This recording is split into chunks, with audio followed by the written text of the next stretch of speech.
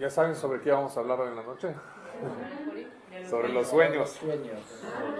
El que lee los Zimmer sabe, el que lee los Zimmer no sabe. Yo sí leí. Es un, es un tema no tan pesado que a muchos les interesa, porque todo el mundo sueña, ¿no? Se supone que, que soñamos casi cada noche. Y quisiéramos saber qué es lo que significa el sueño. Y este tema sí aparece bastante en el Zohar, en la Kabbalah, en el Talmud, en Masejet Berajot, qué es lo que significan los sueños. Depende del sueño, pero vamos a empezar a describir lo que es un sueño. Los ajamim dicen que el sueño es Had Mishishim Minevuah. Es un 60, una parte sexagésima de lo que es la profecía. La parte sexagésima, un, un 60, sí, sí, sí. Un sesentavo, sí. Lo que es, lo que es el, el sueño, sí.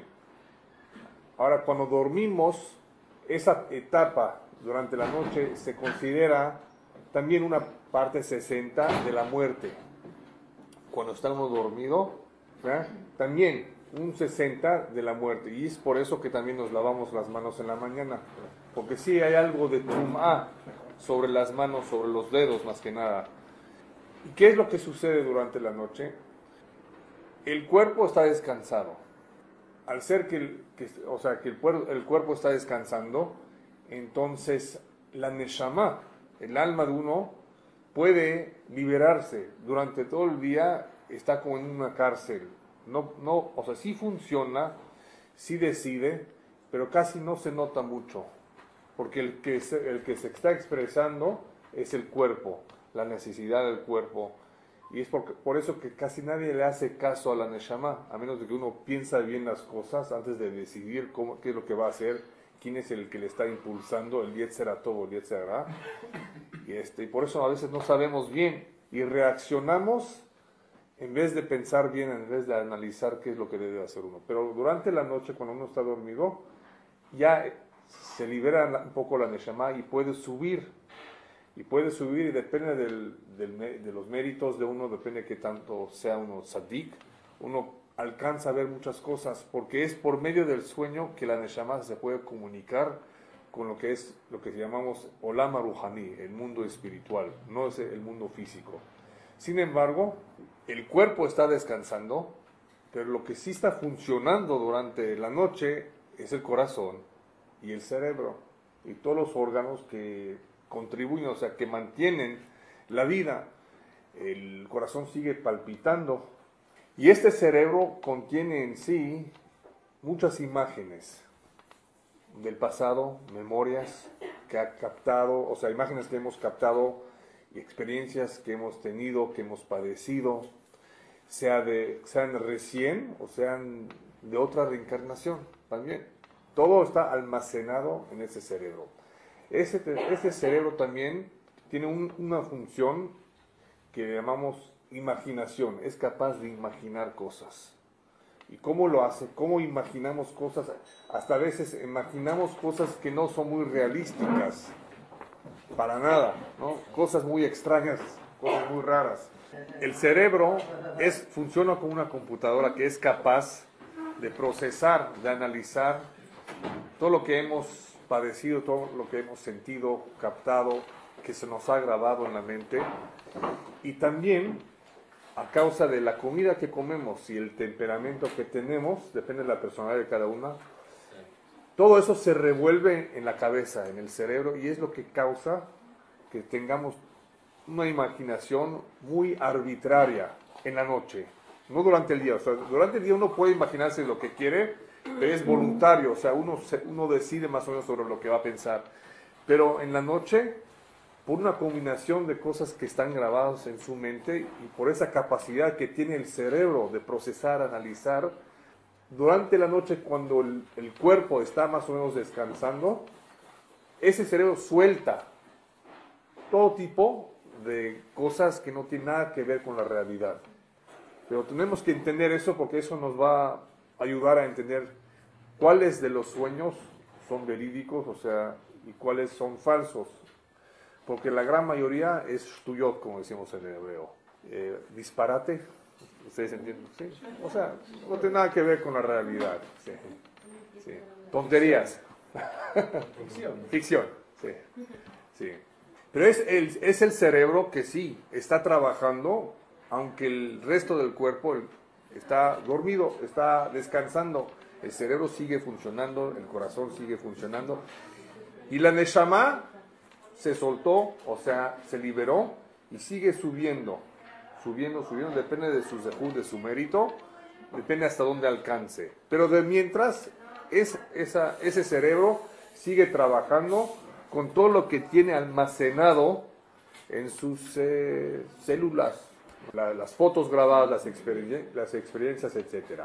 Ahora, a veces sucede también que uno tiene lo que es llamado en inglés nightmare o, o pesadilla en español, y eso ya tiene que ver con memorias más antiguas, Puede ser uno que es sobreviviente del holocausto, que de repente está soñando que está, ya se acercó el SS y se lo van a llevar. Y hay muchos, muchos que han este, sobrevivido, sí, que han estado en, esa situación, que de repente en eso están soñando. ¿Y por qué? ¿A qué se debe? Por memorias más antiguas. No recién, no de ayer, no de antier, sino de hace años. Y a veces de repente ve uno cosas de una de otra reencarnación. Hay un término, hay algo que se llama déjà vu. ¿Saben? Lo que es déjà vu es una palabra en francés, déjà vu. O sea, ya lo he visto. ¿Dónde lo he visto antes? Puede ser que lo vimos en un sueño, nada más que se, que se nos olvidó, porque todo lo que va a pasar con uno, siempre lo ve uno en el sueño antes. Así dicen los fajamim. Antes de que pase algo, algo importante en nuestra vida, lo vamos a ver en el sueño, pero se nos fue, o sea, se nos olvida. Entonces, el déjà vu puede ser un sueño de hace años o puede ser de otra reencarnación. Ay, y eso, qué raro, estuve aquí hace no sé cuándo, pero sí estuve, sí se me hace muy conocido. Puede ser un sueño que sí lo vimos, o puede ser otra reencarnación. Sin embargo, dicen los tajamín que muchos de los sueños no tiene nada que ver con la realidad, porque lo que sucede es que estamos viendo cosas del pasado, memorias, cosas sobre las cuales estamos pensando durante el día, televisión, o también puede ser a veces por la presión que uno tiene del trabajo, de la panazá, de problemas, también todo eso afecta de una manera tal vez química, no sabemos cómo, algo en el cuerpo, algo químico que afecta eso, depende del temperamento uno. Este, David Ameles también, porque tuvo que batallar muchos años, también tuvo muchos sueños con guerras y problemas así. No tiene nada que ver con la realidad, sino cosas que uno padeció o pensó en ellos durante el día. Hay, hay un, este, un cuento en la Gemara sobre un Taná que se le acercó a un rey. Ustedes, Jajamim, saben de todo. A ver, dime qué, sobre qué voy a soñar hoy en la noche. Ustedes, Jajamim, saben de todo. Entonces el, el Rab le describió en detalle un palacio de oro, el carruaje, la corona, todo lo que tiene el rey, pero en detalle. Tanto detalle que el rey esa noche sí soñó en eso de tanto que le contó, que le describió en detalle, sobre eso soñó. Entonces, por eso no hay, que, no hay que hacerle caso a todos los sueños. ¿A qué sueños sí le vamos a hacer caso? Pues sobre eso vamos a hablar. Los ajamín dicen que la noche se divide en tres partes. Ashmoret Harishona, la primera parte, tiene que ver con todo lo que pensamos durante el día, todo lo que se nos ha grabado en la mente, y sobre eso dice el Pasuk, Los sueños son falsos, no dicen nada de verdad. Así dice el Pasuk sobre la primera parte y la segunda parte. Pero la primera parte siempre tiene que ver con pensamientos, tiene que ver eh, con la imaginación de uno, con lo que se le ha grabado en la mente, la comida que comió. Por eso no nos aconsejan ir a dormir luego, luego de haber comido, sino descansar un poco. Todo eso afecta todo eso la mente tiene que procesar, que analizar, y si tiene mucha presión, muchos problemas en su vida, también puede ser que durante esa primera parte de la noche va a pensar en eso. Ahora, alguien me preguntó, ¿y si uno se va a dormir a las 2 de la madrugada? Sí, claro que sí. Si uno va a dormir a las 2 de la madrugada, entonces su primera parte de la noche va a empezar a las 2.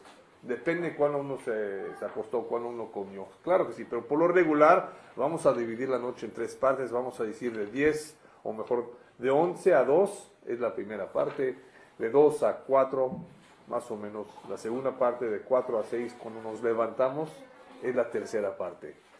La primera parte es pura imaginación, recuerdos, memorias, no tiene nada que ver con la realidad. La segunda parte es un poco más interesante, porque en la segunda parte es cuando vienen todos los sueños raros, extraños, que no, que no entendemos vigilar y ni pensamos en ellos. Y a veces esos son por los shedim. ¿Saben qué son, qué son shedim? Demonios. Demonios, o sea, eso sí existe. Y hay un demonio, hay un shed que, que, aparece en los sueños, en la segunda parte de la noche. Por eso hay que cuidarse en decir Kriyat a la mitad. Eso nos ayuda, nos protege. Las mesuzot del cuarto también, eso ayuda mucho. Y a los hombres les aconsejo ponerse sisit, si es que sufren. No es obligatorio ponerse sisit de la noche. Cuando uno duerme, no, casi nadie se pone sisit. Yo sí me lo pongo. Porque desde que me lo he puesto, Baruch Hashem, no tengo ciertos sueños. O sea, eso nada más le ayuda más a uno que tenga más protección de aquellos sueños que atormentan a uno eh, por Shedim. Y los Shedim pueden ser hombres o pueden ser mujeres. Y a veces hay hombres que ven es cierta mujer en la segunda parte de la noche y eso les causa problemas. Y espero que me entiendan los hombres qué clase de problemas pueden tener. Y eso, claro, también tiene mucho que ver si es que ellos se dejaron ver cosas que no se deben ver o pensar en ellos durante el día. Lo que dicen los hajamim, hirhurim, pensamientos en cosas prohibidas o ver cosas pornográficas. Si uno los ve durante el día, pues los está invitando al sueño. Entonces en la segunda parte de la noche es cuando aparecen los demonios y cosas muy raras que no tienen nada que ver con la realidad y que pueden ser memorias más antiguas que de repente aparecen, surgen durante ese tiempo que el cuerpo está descansado, pero el cerebro, la mente, que tiene en sí almacenado todas esas imágenes, de repente suelta todo de una manera arbitraria, no tiene nada que ver con la realidad. Pero a veces sí son demonios, a veces sí son cosas muy este, raras, negativas, sin embargo, lo bueno es que las primeras dos partes de la noche no hay que tomarlo en serio, no hay que preocuparse de ello. Es que a veces no sabemos en qué parte de, qué parte de la noche fue, pero si ustedes de repente se levantan, se despiertan, acaban de soñar, eso significa, es lo más seguro que fue la tercera parte de la noche. Pero la primera parte, la segunda parte no tiene nada que ver. Los ajamín nos dicen que hay que cuidarse de qué comer, de ciertas cosas, para que eso no nos, no nos afecte en los sueños. La tercera parte, la tercera parte de la noche, Ashmoret Ashlishit, es la parte que dicen los pajamim que hay una mezcla de heno y paja. ¿Entienden lo que es? Heno y paja. Kash beteren. ¿Qué es lo que se come? ¿Qué es lo bueno? El heno. La paja lo tiramos. No tiene nada, ¿no? Entonces, la tercera parte de la noche contiene algo de met y sheker. Algo que tal vez está auguerando, o sea, una profecía, y algo que es falso. O sea, es una mezcla de las dos. Depende del mérito de uno, de donde alcance su neshama. Si es mientras más pura sea la neshama, puede ver con más claridad las cosas. Porque el jalón de hoy, el sueño de hoy, todo es berremes. Berremes significa, es una insinuación. Entonces la tercera parte de la noche tiene una mezcla de las dos cosas. Cosas falsas, algo de imaginación y algo que es verídico. ¿Y por qué, por qué es así que la tercera parte de la noche es más claro, es más este, emet, más, o sea, más verídico?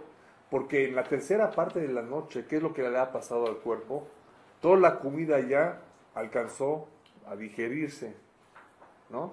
Tardan dos, tres, cuatro horas, entonces ya no, ya no está funcionando, ya no está trabajando tanto el, el estómago y la cabeza y todo lo que tiene la comida que sube, dice al cerebro, dicen los fajamín, que todos los humos suben y nos afectan. Entonces el cuerpo ya tiene menos que ver con la comida y con los pensamientos de ayer o de antier. Entonces hay chance de que lo que vamos a ver en la tercera parte de la noche va a ser emiet, va a ser más verídico. Sin embargo, hay una mezcla porque el halom es nada más una parte, 60 dijimos, de, de, lo que es la profecía. O sea, es por medio del halom que el Purjo se comunica con nosotros. Sin embargo, no todos tienen el zehut de poder ver todo con claridad. Según la Kabbalah hay ciertos maasim, ciertos hechos, ciertas mitzvot. Si uno, los, si uno cumple ciertas mitzvot, ciertos hechos maasim durante ese día, de repente está hablando con los malachim, está hablando con sadikim.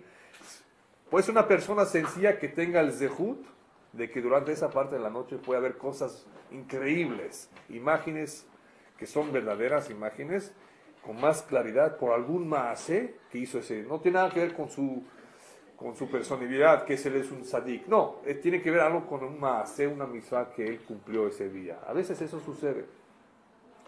Pero debemos de entender que no todos los sueños, ni los verídicos, auguran algo. Aunque dijimos que es algo de profecía, puede ser que el sueño sea lo siguiente. Un abuelo que ya falleció, que aparece en, los sueños de uno, ¿no? Y me imagino que cada uno de ustedes, me imagino, que ha visto algún tiempo, algún tío, tía, abuelo, abuela, que ya fallecieron. a veces son memorias que tenemos de ellos, pero a veces ellos aparecen y sabemos de seguro que es un jalón a mi ti. ¿Cómo sabemos que es un verdadero jalón? Si aparece alguien que ya falleció, que ya no, o sea, ya no vive. A veces, si la mujer está embarazada, la mujer de uno, es posible que este abuelo, este tío, quiere pedir que le demos un nombre. Y a veces él aparece cuando apenas se embarazó y no sabemos que se embarazó. Y eso ya significa y señala, sabes que tu esposa ya está embarazada, porque aparece el papá de ella, el papá, para que, le des el nombre y así sabes que va a ser Zahar y no va a ser Nekeba, que va a ser un niño no niña. O va a ser niña no niño. O sea, depende si es abuela o abuelo. O a veces vienen a felicitar, más alto. Entonces, a veces el sueño no tiene nada que ver con algo que va a pasar en el futuro, porque dijimos antes que todo lo que le va a pasar a uno, sí cierto, aparece en el sueño. Nada más que la gran mayoría de los sueños se nos olvida. Por eso de repente, de vu, ¿dónde, se, ¿dónde vi esto? Si lo viste en el sueño hace años, de repente, o sea, lo ves. Pero a veces aparece el tío o la abuela porque algún pedido, y ese puede ser eh, que le dé el nombre o que se está quejando que por qué mi hijo, por qué, mi eh, sobrino, por qué, este, por, qué, por qué se comportaron así. Este, o sea, algo les está molestando. Les voy a, les voy a contar un, un sueño que tuvo un tío mío para que me entiendan. Un tío de mi tío. Ya había fallecido, y este tío no era religioso, creo que para nada religioso, en Brasil. Este, llegó y le dijo a mi tío, oye, pídele a tu hermana, que es mi mamá, que por favor que, que empiece a usar la bandeja de plata que le di para Shabbat. ¿Ya conocen los, lo que los ashkenazim usan esa bandeja y encima se ponen las velas? En yiddish se llama tats. Un tats de plata una bandeja, ¿no? Sí, sí. Que, porque, que por favor que me haga favor de usarlo, porque aquí arriba en el Shamay no tengo de no tengo nada de méritos, porque no era religioso, menos esto, que se lo di, se lo regalé para, o sea, cuando se casó, pero no lo está usando, ahí lo guardó en el, eh, en el, eh, ¿ah? En la vitrina. En la vitrina, sí. Para que se vea, sí, pero que, lo, que empiece a usarlo. Entonces le dijo a mi, mamá y mi mamá, claro que se recordó, sí, que es verdad, que sí se lo dio y que empezó a usarlo. Y luego me preguntó mi mamá, oye, qué, raro que por qué no vino y me pidió a mí, por qué tuvo que pedirle a mi hermano. Eso sucede a veces por dos motivos. A veces el que aparece en el sueño le dan derecho, o sea, tiene que pedir permiso de que aparezca, sí, ven y dile que, que, lo use, pero no le puedes decir a la persona, amigo, le tienes que decir a otro. Y si el otro no se le olvida, está bien. Si puede ser, eso, es posible que sea por otra razón. en Nueva Jersey pasó algo, no me acuerdo que alguien murió en un accidente y, y apareció en el sueño y le dijo a un señor, a un joven, hermano o primo del que le quería pedir algo, ve y dile algo. Oye, ¿por qué no le vas ¿por qué no le dices tú? ¿Por qué me estás pidiendo que yo, que yo lo haga? Porque ella le va a dar miedo si, si me ve en el sueño. Para que no se asuste, por eso vengo te lo digo, te lo pido a ti. Entonces puede ser que a veces el que falleció, el, niftar, viene en el jalón del sueño y se lo pida a otra persona para, por quién sabe, porque, para que no se asuste, para que sea así directamente, siempre, pero siempre con alguna, algo que le dieron permiso, le dieron derecho de hacerlos, no viene por su propia cuenta. Entonces, hay jalomot, hay sueños de esa clase. Esos sueños sí son de Emet, se aparece en la tercera parte de la noche. Pero siempre, como dije antes, hay mezcla de, paja y lleno y uno tiene que saber eliminar la paja y eso es lo que es la interpretación de sueños. Porque la el, sueño no siempre es tan claro y pashut sencillo. Si ve uno, por ejemplo, la casa de uno, que, eh, si ve uno un incendio, Hazel Shalom, la casa de uno, ¿qué significa eso? ¿Que se va a quemar la casa? No, Hazel Shalom, no tiene nada que ver con se va a quemar, pero puede ser que va a haber mahloket o que hay mahloket, que se están peleando el, la pareja, o sea, el hombre y, su mujer, y por la mahloket ve uno esh, ve uno el, incendio. Y si uno ve que, si, ve que está, que se metió a su tumba, piensa que Hazbe Shalom, uh, se va a morir. No, no tiene nada que ver con eso. Eso significa que a Kadosh Bajú le perdonó y que le dio la vida. ¿Sí? que le dio más vida, más años. Entonces, no siempre lo que ve uno significa que así va a ser, porque el, sueño, nada más, no es como la profecía, le falta mucho para que sea profecía, hay que interpretarlo, y hay muchos, hay varios sueños que tienen interpretación en la Gemara, sin embargo, no todo el mundo sabe interpretar, ya depende de qué parte de la noche también es, y si no pensó en esto, y si, soñó antes de levantarse. Por eso siempre hay que preguntar si es un sueño antes de, levantarse o tal vez... Perdón, puede sí. que uno no sepa en qué mitad de la... Uno se levanta y se acuerda que... O a la tarde te acordás que soñaste el día anterior. Sí, sí, a veces sucede eso, sí. entonces, sí. no, eh, si es en la primera parte, en la segunda... O la tercera. Por si, si uno luego, luego sueña, o sea, más, a, a veces es, es difícil saber, sí, estoy de acuerdo que no pero a veces uno sabe que fue la, la última parte porque se levantó de repente. Ah, hay a veces que nos da lástima que, que, que nos despertamos porque fue, sí, que, que, fue un sueño muy bueno, qué lástima, se tocó el timbre o algo, el teléfono, y nos levantamos, sí. Entonces así sí sabíamos que fue la tercera parte de la noche, sí. Había escuchado que se interpretar en el día y no en la noche, o no platicarlos en la noche, que en el día los deben de platicar uno que sueñe o sueñe esto. Especialmente si son sueños medio raros. No. Si son malos. No, si son malos, porque si son malos hay forma de cancelarlos. porque si es un sueño malo, ¿por qué, solo, ¿por qué lo va a ver uno en el sueño? Porque eso puede ser un decreto contra él y que le están avisando de antes, oye, ¿sabes qué? Mira, eso es capaz de pasar. Te dan chance de, de anular, de cancelarlo por medio de la tzedakah, por medio de ayunar y hay, hay veces que sí se le dice a uno, sabes que ese es un sueño malísimo. Tenemos la tradición de que sueños son malos, de verdad. Si uno ve que se le cae el diente, no es un sueño bueno. Pero si pensó en eso porque va a ir al dentista el día siguiente, tal vez no sea. Por eso hay que, hay que, hay que cuidarse de, que no, de no interpretarlo así. Hay que preguntarle a uno, sí. Perdón, eh, pero escuché que las sueños terminan siendo como la persona lo, interpreta. Como, Voy a hablar sobre eso. Sí, sí, sí. También vamos a ya, ya que lo mencionaste, vamos a hablar. Hay sueños que dicen los jajamim, es que por eso está, está un poco complicado todo ese asunto de sueños, porque hay, hay dichos y hay cosas este, citadas en, en, la Gemara y en el Zohar que parecen contradecir uno al otro. Aquí dice el Pasú que todos los sueños no significan nada. Shavi Veruna. Aquí dice que Depende de la, interpretación, de uno. Y hay unos que sí son, antes de levantarse, sí sí son sueños de, de, algo que va a pasar en el futuro. Entonces, ¿qué hacemos? Por eso estoy hablando sobre ese tema, para que sepamos que depende, si es la primera parte de la noche, la segunda parte de la noche, depende cómo uno lo ve, eh, con claridad o no. Y vamos a hablar sobre más detalles, cómo uno puede saber si, si hay que hacerle caso o no al sueño. Pero vamos a hablar sobre la categoría de sueños que dicen los fajamim, que dependen de la interpretación de uno. Así dicen los fajamim, que hay sueños, cuídate con a quién le vas a contar, a quién se lo vas a relatar, para que te lo interprete bien. Porque si vas con, con un amigo, chance de que él sí te va a decir una buena interpretación. Si vas con alguien que no te quiere, puede ser que no. Entonces, cuídate a quién se lo cuentas.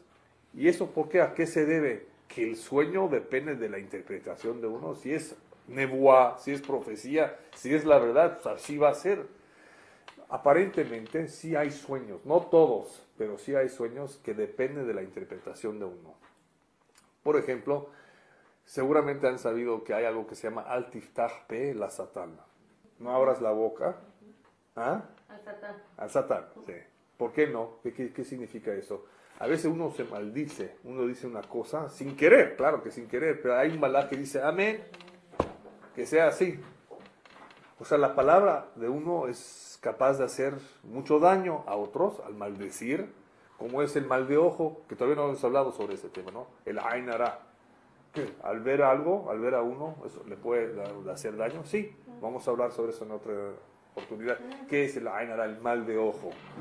Entonces sí existe eh, esa, ese problema o esa capacidad de que uno por, la, por medio de lo que dice puede afectar el resultado o la interpretación de un sueño. Que ese sueño es más, vamos a decir, más, eh, no flexible, ¿cuál Hay, otra, hay otra palabra. Se puede moldear. Se puede moldear, ¿no? Hay otra palabra que describe algo que es más eh, por ejemplo, tenemos una masa. Con esa masa, uno puede hacer galletas, pasteles. Entonces, es, es una masa. ¿ah? ¿Me entienden? Sí. Que es que podemos moldear de, de, cualquier forma que queramos. Entonces, hay sueños que no son firmes. No es una profecía, algo de seguro, 100%, pero depende del mazal de uno él los ve, porque el Mazal siempre le dice antes de que pase algo, que va a pasar algo. Entonces, en cierto nivel, a veces puede causar la palabra de uno, la interpretación de uno, que, cambie o que se dilate, o sea, que no se cumpla tan rápido. Eso sí puede pasar. Pero si es, una, si es un jalom amitime, 100%, un mensaje de verdad, algo importante, de gran importancia, entonces, eso nadie lo puede afectar, nada, nada lo puede cambiar, así va a ser. Está bien, eh, eh, tienes razón, pero eso no, no incluye o no afecta a todos los sueños. Algunos sí, algunos sí pueden ser afectados por eso. Hay un jalón, un sueño que lo soñó otro. ¿Sabes qué? Te vi en mi sueño, vi que, que, eso, que eso te pasaba o que hiciste así, así. Los Fajamín dicen que si otra persona tuvo el sueño, chance de que sí es un sueño amití, verdadero. Tú no lo tuviste, sino otro lo tuvo. Un sueño que fue interpretado en esta misma noche, también es un jalom amití. O sea, soñaste el sueño más la interpretación, también es, un, es, es verdad. Un sueño, y ese es el más típico, el clásico, el más seguro de todos, un sueño que se repitió dos veces, sea en la misma noche, sea seguido, sea dos días seguidos, sea después de un mes, al repetirse, y así fue el, el jalom, el sueño de Paró. De ahí aprendemos eso, que Yosef le dijo que al, porque soñaste dos veces, aunque un poco distinto de los detalles, sin embargo, si es un jalón amití, y al ser dos veces en la misma noche, también significa que se va a cumplir dentro de poco. Entonces, tenemos varias reglas, o sea, varias cosas que sabemos por medio de Halomot de otros en la Torah, qué es lo que significan. Nada más les quiero recordar, antes de que sigamos, de que hay otros medios de saber el futuro, saber cosas. Eh, hay algo que se llama la telepatía, hay algo que se llama la percepción extrasensorial, ¿no? Hay cosas que uno puede saber que uno ve durante el día y no está dormido. De repente se le ocurre algo. Sí hay esas cojotes existen. El Yarut, el judaísmo, no, no está en contra, no, no niega que esas cojotes existen, nada más se cuida de que no sea de la tuma. Porque hay forma, hay manera de, de sacar información también por medio de la tuma. ¿Saben lo que es un seance? ¿No han visto? ¿Saben lo que es un Ouija board? ¿No han visto una tabla? Sí, con la copa, una tabla que se mueve la copa. Eso es ya la comunicación que hacen algunos con los muertos. Si no fuera verdad, la Torah no lo hubiera prohibido. Si está prohibido es porque es verdad. Y la Torah dice que no, que no uno puede comunicarse con los metín para saber cosas. Pero desafortunadamente en el ejército israelí eh, aparentemente tienen mucho tiempo libre o están muy aburridos y es lo, a, eso, a eso se dedican a veces. ¿sí? Traen a traer los soldados que, que murieron. ¿sí? Oye, ¿qué, qué, qué te pasó? ¿Qué pasó? Sí. Esas cosas sí existen. Hay forma de saber cosas por la tumba y eso no se permite.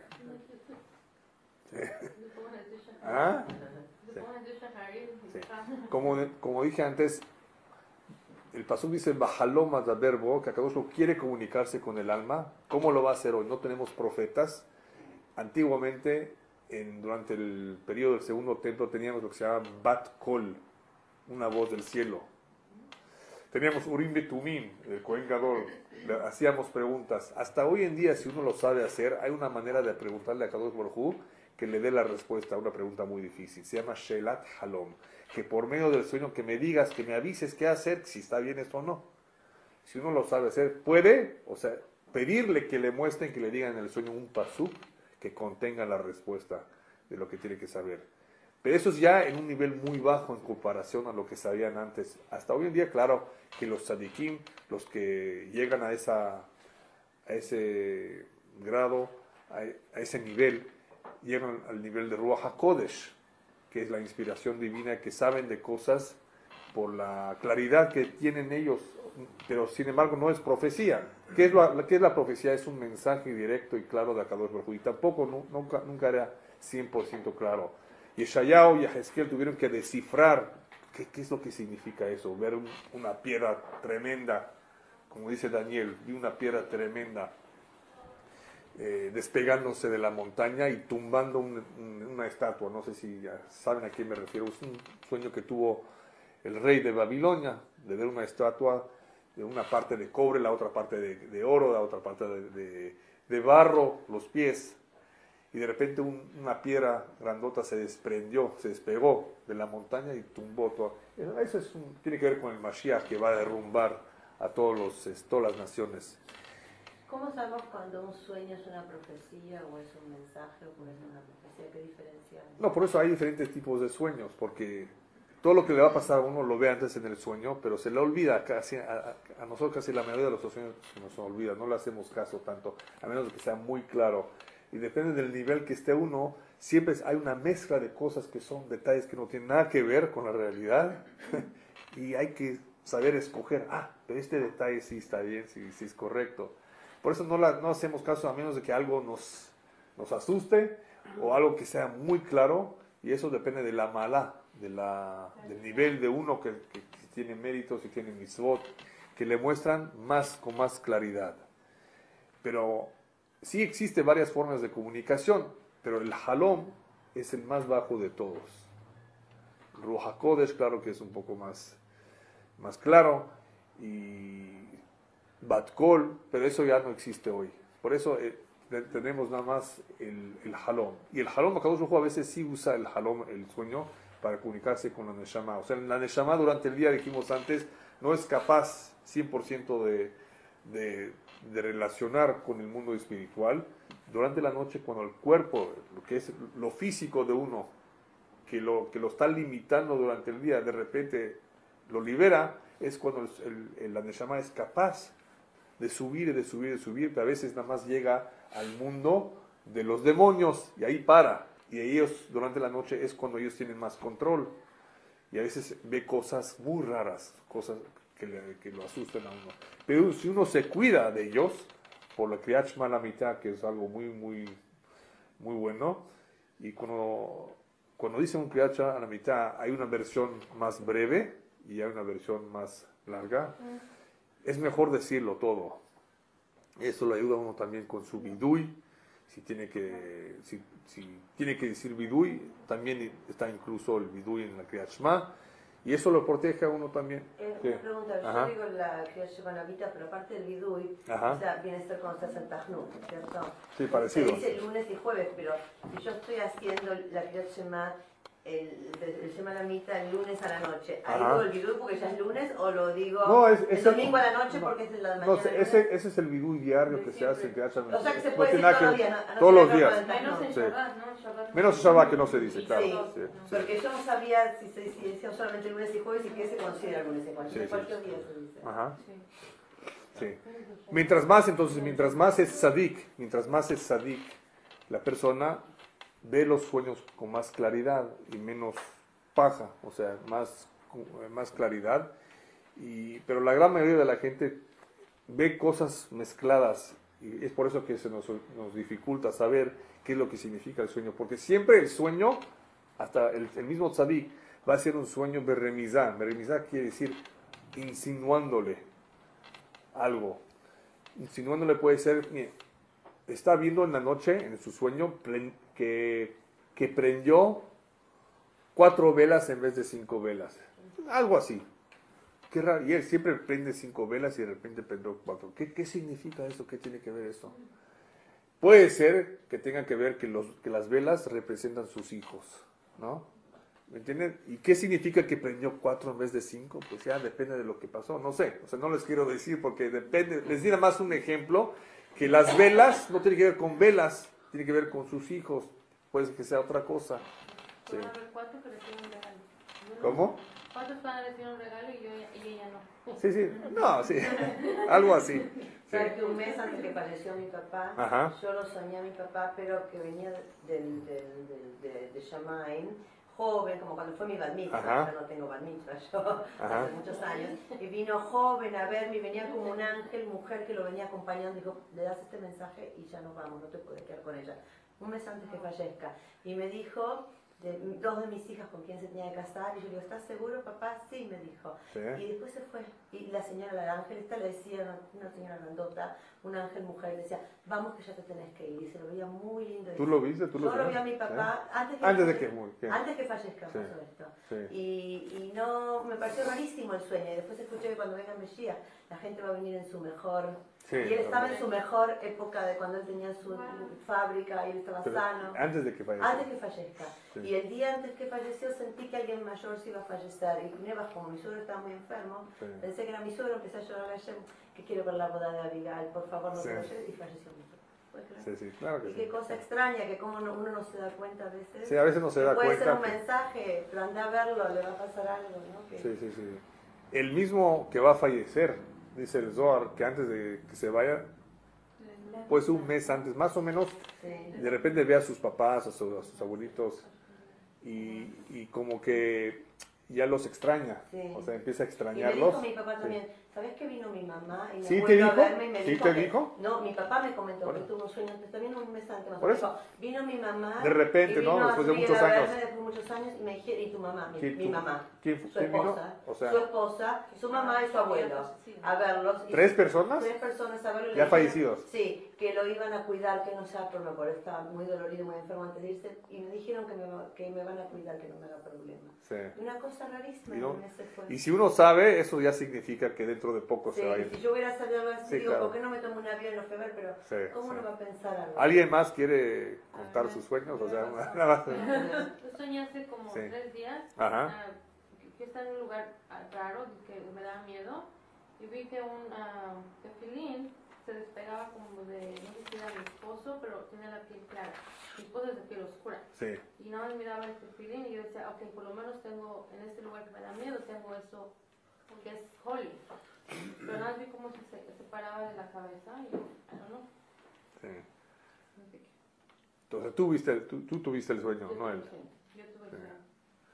Sí, lo vamos a pensar más tarde. Pero, pero algo más así, un sueño, algo como alguno que falleció. Sí, sí, Sí, a ver. Yo soñé con tres personas muertas, van dos veces que sueño, pero todo está bien, todo está muy bonito. Sí. Yo sé que yo no estoy muerta y yo veo a las tres personas que yo las quise muchísimo. Sí. Y las vuelvo a soñar y van dos veces que sueño, pero ellas están muy bien. No, porque a veces sabes que cuando uno está muy apegado a alguien del- durante, o sea, en la vida, Ajá. sí, es cuando aparecen ellos, porque a veces hay un kesher, una conexión entre las almas, y sí aparecen, y a veces te avisan que están bien, que Baruch Hashem, en el primer año, después de la que fallecieron, no aparecen, porque pasa uno el juicio y tiene problemas hasta que se, hasta que se calma todo. Después de que pasa un año, sí, que Baruch Hashem ya estoy bien. Una de las personas todavía no tiene un año como ¿sí? ¿Y qué es lo que viste? No sé, yo la vi. Ella y yo fuimos juntas a la escuela. Sí, Todo el tiempo fuimos más que hermanas. Y ella Sí. falleció hace menos de un año. sí. ¿Sabes cuándo se puede saber que si no, si- a veces es una memoria de ella? Porque si uno tuvo que ver mucho con una persona, entonces a veces tiene sus memorias, de repente en la primera o la segunda parte de la noche. ¿Cuándo sabes que es un jalón mamash que de repente aparece uno que falleció y te quiere decir algo? Si tú en el sueño sabes que ya falleció. Sí, yo sé. Yo Sientes, sé- oye, ¿qué estás haciendo acá? Yo sé que ¿Qué estás falleció, haciendo? Yo sé y veo a mi tía, Sí. que también la quise muchísimo. Mi tía la veo columpiándose. Sí. Un columpio y ella está columpiando y ella está muy bonita y ella está muy bien. Sí, Y, pero veo a las tres personas y la otra es mi suegra, que yo nunca la conocí. ¿no la conociste? ¿Pero viste una foto de ella? Sí. Sí, está Y bien. la veo, el- a las tres personas las veo en el sueño, pero yo sé que yo no estoy, yo sé que yo, ellas, yo sé en el sueño que ellas están. Sí, Y veo a las tres mujeres y las veo a las tres muy bien, sí, pero no, no, no pasa nada en el sueño, nada más sí. no pasa nada. Es que, es que te están calmando, te están avisando que están una Hashem. nejamá, ¿no? Es como una nejama, sí. A ¿Quién quiso? Sí. Yo quería Sí. contar. Eh, hace Sí. unos meses Ajá, yo perdí un primo que tenía 18 años de una manera muy, muy fuerte. sí. Tuvo un accidente de auto y se incendió. Muy, fue un shock ¿Dónde? muy grande en Argentina. Sí, Y fue un shock muy grande. Toda mi familia, imagínate, estaba totalmente convulsionada. Y la misma noche que él falleció, o sea, la mañana que falleció, la noche, soñé con mi abuelo, mi abuelo ya fallecido, Sí. que venía radiante, estaba Sí. feliz. Y atrás de él venía una, una señora también, amiga. sí. Ella no hablaba, pero también falleció. Se los veía muy, muy contentos y me- mi abuelo viene y me dice, quédate tranquila, que él está muy bien y yo lo estoy cuidando. ¿Así te dijo? ¿Sí? Así me dijo, quédate tranquila. Y yo la otra mañana... ¿Quién era, era un primo tuyo? Primo mío, primo hermano mío, es Sí. el hijo del mellizo de mi mamá. Sí, ¿y nadie más tuvo sueños con él? Nadie. ¿Sí? Y yo a la mañana cuando me desperté... Tuviste la suerte tú. Pero tú lo conociste bien, un primo que... Sí, sí. Sí. Te dolió mucho, mi, mi tío estaba haciendo su shiva en la casa de mi mamá. ¿Le, ¿Les contaste a todos? Y le conté y mi tío lloraba pero de verdad, me a Sí. de verdad el abuelo te Sí. dijo. Ya ves, un ven un ejemplo de que no sabemos que por qué a ella sí, y es una prima, no, no, no es hija ni hermana ni nada. Es- a veces es como decir usted que, man, que le dan permiso, pero Le dan permiso, pero a otra persona, y jamás. por qué a una persona que tal vez a ti te dolió mucho, y algún zehut, o algún kesher, alguna conexión entre las ciertas neshamot. Esa conexión eh, existe en el, en el mundo del alma, sí, sí. No sabemos por qué algunos sí y algunos no sueñan, pero sí. Pero sí, Es un fue- halom fue muy- amiti, es de verdad. claro, es claro, claro. Y, es ver- y es verídico. O sea, sí, sí significa que, que aparentemente tuviste algún, no queja, Hazu Shalom, sino algo te, te molestó mucho, algo te, te dolió mucho y, y- y por la angustia, manera. por la angustia y por el dolor le dieron permiso de que por medio de ti sea una nejama para toda la familia. sí. Sí. Sí. Ahora les voy a contar un cuento muy interesante, un sueño que tuvo un, un yehudí en Polonia, que de repente le dicen, él tenía muchos problemas con Parnasá, y era muy difícil, o sea, con el trabajo y buscaba otra Parnasá, y de repente soñó que hay un tesoro debajo del puente en la ciudad de Praga, Checoslovaquia. O sea, ustedes saben que es un poco lejos de Polonia a Checoslovaquia, pero tuvo ese sueño de que debajo del puente en Praga hay un tesoro. Ve y, saca- y sácalo, es tuyo. Sí. Está bien. Se levantó. ¿Qué va a hacer en Polonia? No tiene trabajo, es mejor buscar. Y nosotros sabemos que la mayoría de los sueños es idiota, o sea, no tiene nada que ver. Pero él pensó que tal vez sí tiene algo de Emet. Se levantó, le dijo, se despidió de su esposa y se fue. Ve que está rodeado el puente por guardias, o sea, no se puede acercar. Entonces esperó a ver si se van en la noche, se va a acercar con su herramienta ahí. Este, pero no pudo acercarse, pero sí lo vio uno, uno sí lo vio que se estaba acercando y sospechó que, que, es un espía. Entonces, eh, la segunda, creo que fue la segunda noche, cuando lo vio acercándose más al puente, fue y lo agarró y dice, ¿qué, qué estás haciendo aquí? Entonces ya le tuvo que contar el sueño, pero no, o sea, no, no tenía otra, no quiso ir a la prisión, a la cárcel. Le dice al soldado, mira, te voy a decir la verdad, sinceramente soñé, yo soy de Polonia, que aquí debajo del puente hay un tesoro y a eso vine, no soy espía ni nada de eso. Ese señor se llamaba Jacob, Yankale, en yiddish. Este, le dice el soldado, se empezó a reír, a burlarle, a, burlarse de él.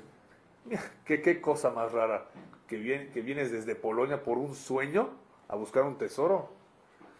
Yo también tuve un sueño ayer en la noche que en la cocina de uno Yankale, en Polonia, hay un tesoro detrás del horno. Y por, ese sueño que yo me voy a levantar, me voy a ir a su casa a buscar en su cocina detrás del horno. oh, gracias, gracias, gracias. se fue a su casa. Empezó a, a, deshacer, o sea, en, aquellos, en, aquel, en, aquel, en aquella época en aquellos tiempos los hornos eran de ladrillo pegado, todo, sí. Entonces tuvo que deshacerlo todo. El horno, eso le daba la calefacción a la casa para cocinar todo, para desarmarlo era, o sea, un gasto y, y jabal una lástima, ¿verdad? Entonces, todos en la casa de repente, ¿qué estás haciendo, papá? No se preocupe. Deshizo todo y encontró un tesoro. Y con ese tesoro construyó un shul que hasta hoy en día está, el Shul de la Vía Jacob, que, construyó con el dinero que encontró en el tesoro detrás de su borda. ¿Y por qué tuvo que ir hasta Praga, Checoslovaquia? No sé, no tengo idea. Así, así te digo, así te digo que recibir el tesoro, ahí, ahí estaba el tesoro. Que le iba a decir que en su casa estaba el tesoro. ¿Saben? Como dice, hay un dicho que hay unos que piensan que el tesoro está muy lejos, pero están en, en la misma casa, en el mismo patio de uno. Y sabe también otro que comparto, que dice, cuando falleció mi papá tuve que ir a la casa de mi mamá y yo estaba a encontrar papeles de mi papá. Y mi mamá me dijo exacto, seguí buscando, seguí buscando que vas a encontrar. Se me apareció así, cara a cara. Sí, ¿y estabas buscando papeles? Papeles que habían estado de mi papá y los encontré siguiendo las instrucciones de mamá que decía buscar, vas a ver mucho. Y sabe que, de, de, hecho, eh, esos sueños de ese que estás contando, que te dijo papeles y dónde encontrarlos, eso demuestra también que el alma perdura Sí. ¿Y que, por qué? Porque cómo te está diciendo cosas, o sea, si es una memoria, o sea, aparece el muerto, pues... pero el hecho de que, el hecho de que te está diciendo algo, dándote instrucciones, que ahí ve y busca el papel, eso significa que el alma sí existe.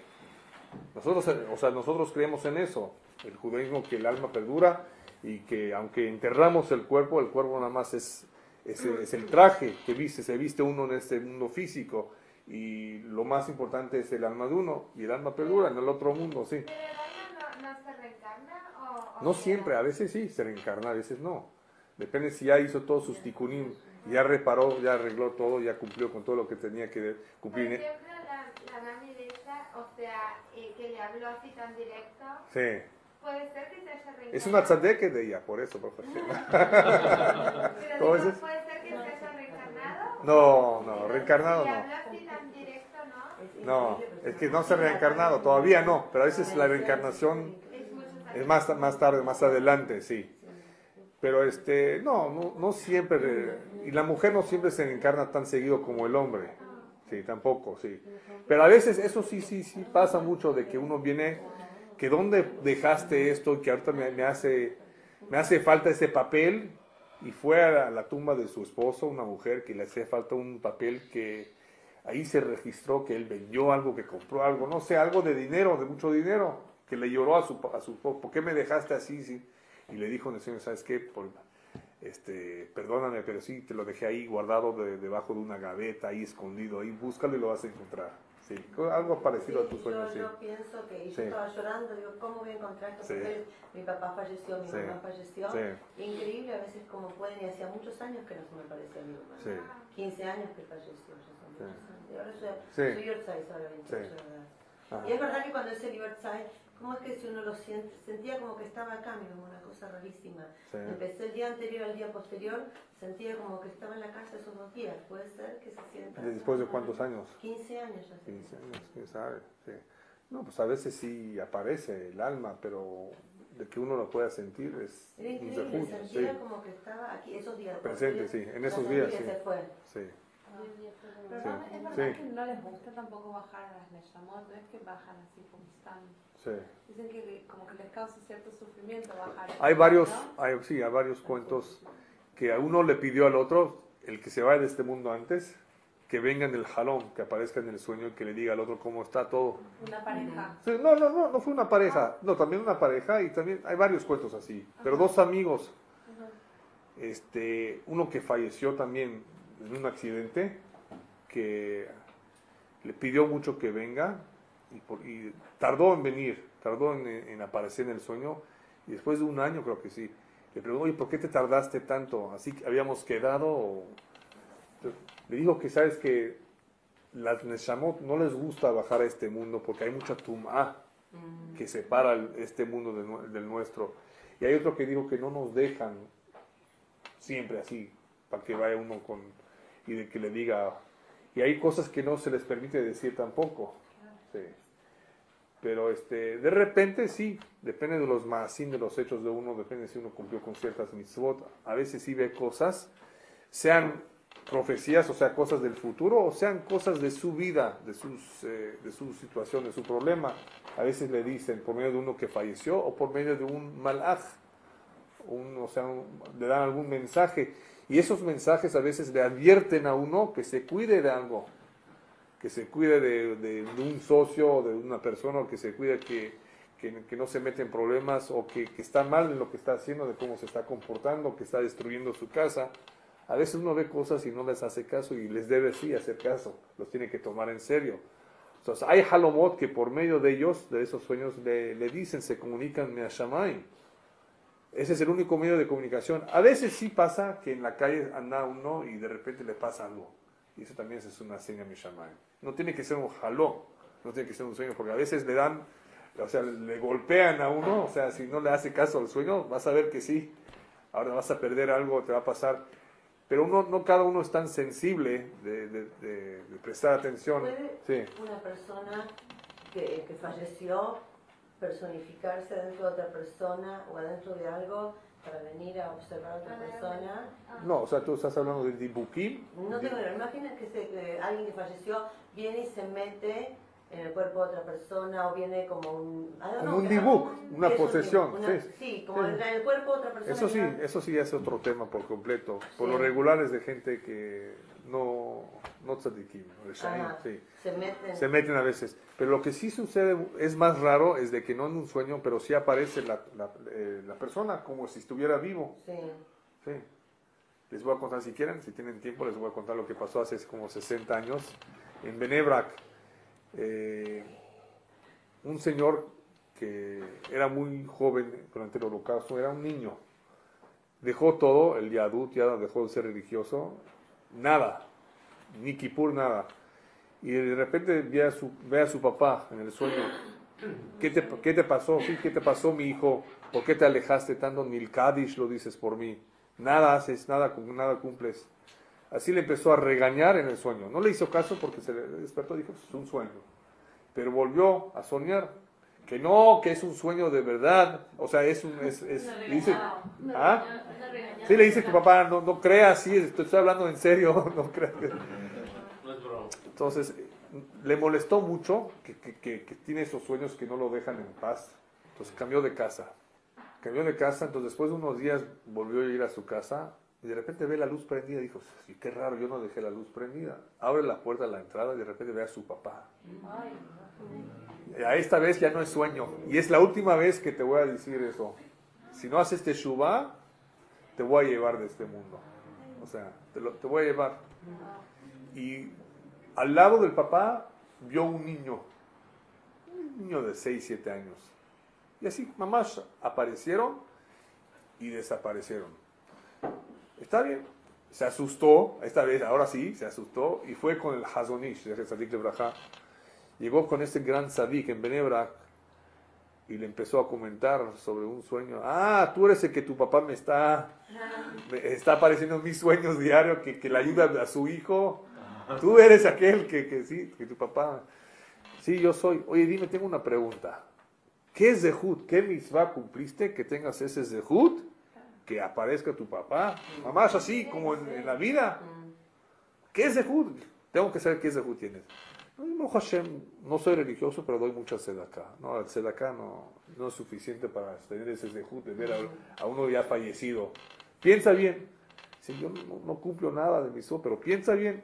Me acuerdo de algo, sí. Me acuerdo que cuando estuvimos en Europa, cuando los nazis este, nos perseguían, nos escondimos en un, en un pueblo.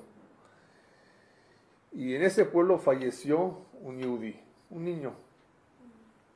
Y mi papá me pidió que le ayude en la noche, tarde en la noche, a llevar al niño a enterrarlo en un cementerio yudí. Y es una gran mitzvah eso. Pero era muy peligroso, muy arriesgado de hacerlo. Si lo, lo, lo cachan, lo, lo, agarran los nazis, ya. Pero decidimos hacerlos a, escondidas y si Baruch Hashem lo logramos hacer muy rápido, nos regresamos a la casa. Dice el Hazonish, esa es la mitzvah, ese es el Zehut. Y ese era el niño que vino con tu papá. Sí. Sí. Hay muchos sueños, podemos hablar toda la noche de, de sueños y cuentos y cosas así. Que... Pero también a veces cosas que pasan cuando uno está no dormido, despierto. Sí. O sea, Mauricio, ¿te acuerdas cuando te moviste de una línea, ibas manejando y te, te, te, ibas a dar la vuelta a la derecha y en lugar de seguir en la línea de la vuelta a la derecha se cambia de carril? ¿Te acuerdas? Y el, el que venía atrás se estrella, se estrella. O sea, si él no se hubiera quitado, sí. pero se quitó y lo A tiempo, sí. No, no a tiempo. Era ilógico porque si él iba a dar vuelta a la derecha, él tenía que continuar en ese carril. Sí. Pero él se mueve a la izquierda. ¿Por qué? Se movió a la izquierda. ¿Te acuerdas de sabes? Sí. No, todo Cosas esto, así que, todo, que, que... todo es Me'ashamayim, sí. No, todo lo que eso demuestra es que Akadosh Baruj se comunica con nosotros por varios medios, Ajá. ¿sí? Y el sueño es uno de ellos, pero la mayoría de los sueños no tienen nada que ver con la realidad, la mayoría. Pero algunos sí, antes de que nos despertemos en la mañana, ahí sí, cuando la mente está más clara y, y todo lo, o sea, el, todo el cuerpo está ya más descansado, es cuando hay chance de que, que vea uno más, con más claridad, algún mensaje, o algún sueño de, que, que profetiza algo que, que quiere decir algo. Como ¿Ah? ella, hay imágenes. Yo tenía, estaba en Rosh en el templo en el Shemes y una, una pareja con 8 años no puede tener niños. Y la vi a ella cargando un niño. Sí. Y le digo, no sé si decírselo, porque una mujer que Sí. tantos años puede tener pensar que estoy loca. Que no tenía, que no no tenía tenía. niños, pero no podían tener niños.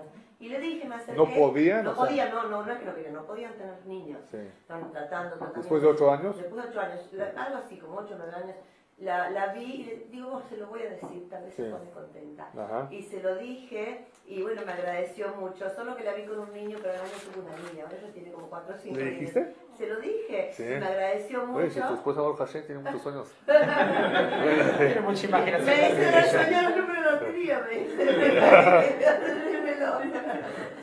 Pero increíble que a la- vino con niños, o sea que tan atinado no fue mi sueño, pues salió un niño en vez de niño, vi con un niño, pero... Entonces te equivocaste, no. No, no, no. No sirvió.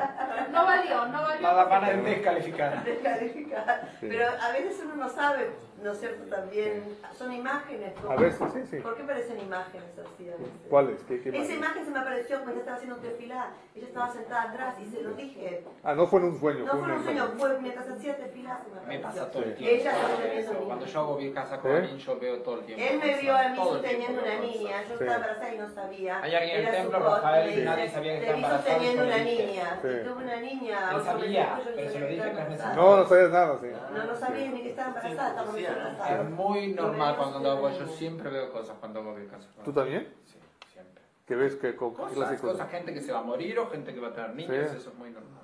Pero despierto, ¿no, Doron? Sí. Hay, aparentemente también hay mazalot, o sea, ciertos signos momento del zodiaco, ciertos signos que por el mazal de ellos son, o sea, pueden ver cosas. El escorpión, Siempre veo cosas. sí, sí, puede ser, sí.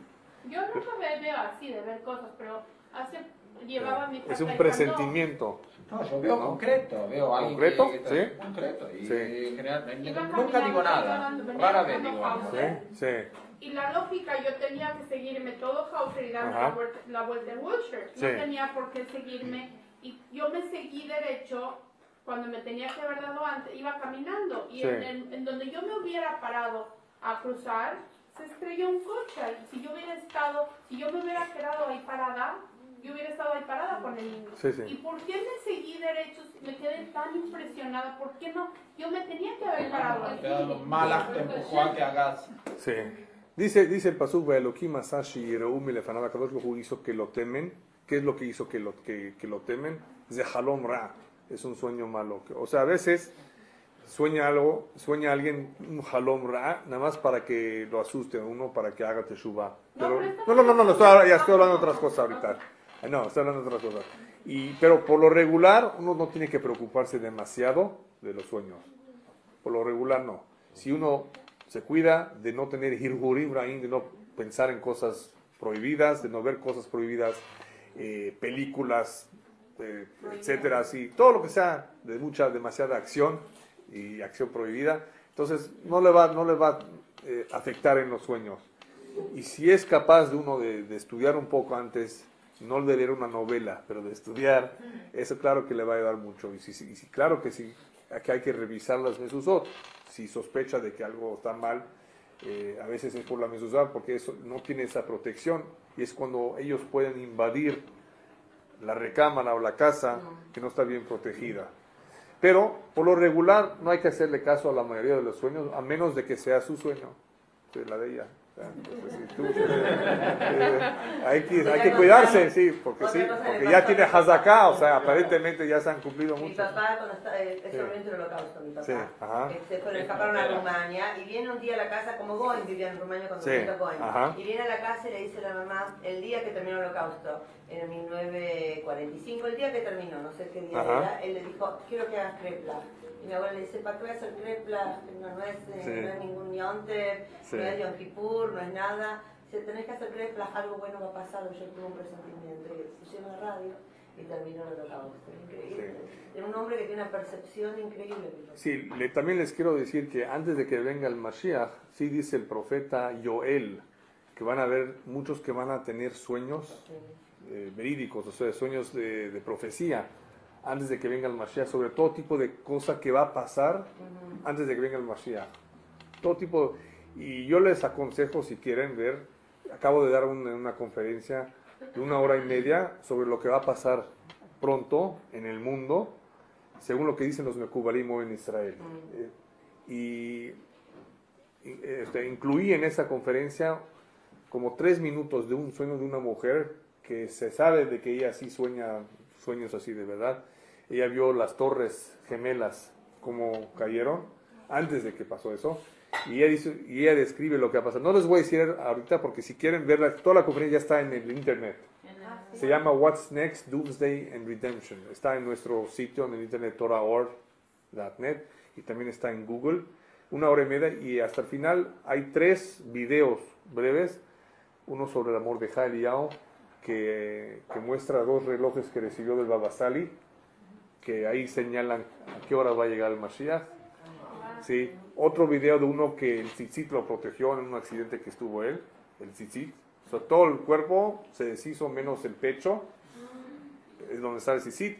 Y otro video que ella cuenta, la señora cuenta qué es lo que ve, eh, qué es lo que va a pasar al mundo. O sea, es algo un poco espantoso, y, pero toda la conferencia es, una conferencia muy importante sobre qué es lo que va a pasar dentro de poco eh, en, en- todo el mundo. Se los recomiendo. Y eso, ¿por qué se los comenté? Porque tiene un sueño y hay otras personas que también han tenido sueños que aparentemente nos estamos acercando al Mashiach y eso es lo que va a pasar. Muchos sueños van a tener que ver con estos tiempos Pero de mientras, yo les, este, les deseo que tengan sueños agradables y como decimos en español, que sueñen con los angelitos.